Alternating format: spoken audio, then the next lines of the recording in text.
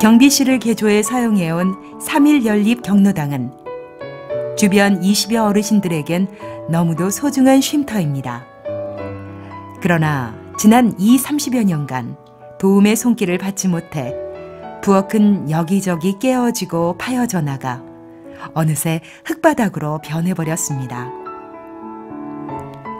수도관 어딘가에서 발생한 누수로 인해 수돗물조차 제대로 쓸 수 없게 되었지만 너무도 형편이 어려워 수리할 엄두조차 내지 못했습니다.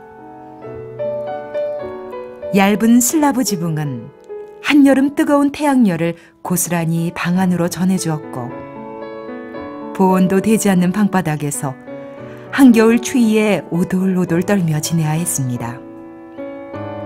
그렇지만 이것은 주변 어르신들에게는 무척이나 소중한 안식처입니다.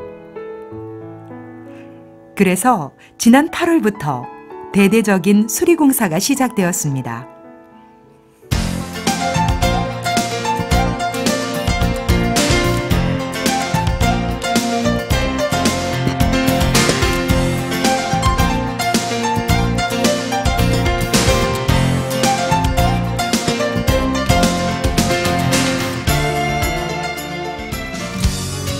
낡은 지붕은 덧씌우기 작업을 하고 방 안은 도배와 장판을 다시 하여 깨끗하게 하였습니다. 바닥엔 전기온돌 판넬을 설치하여 추운 날에도 견딜 수 있게 했고 에어컨, 가스렌지, TV 등을 설치하여 어르신들의 휴식처와 안식처가 되도록 하였습니다. 어르신들의 편안한 쉼터 3일 연립 경로당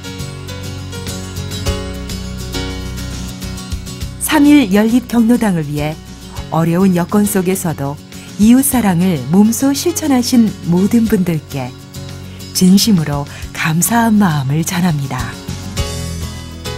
감사합니다.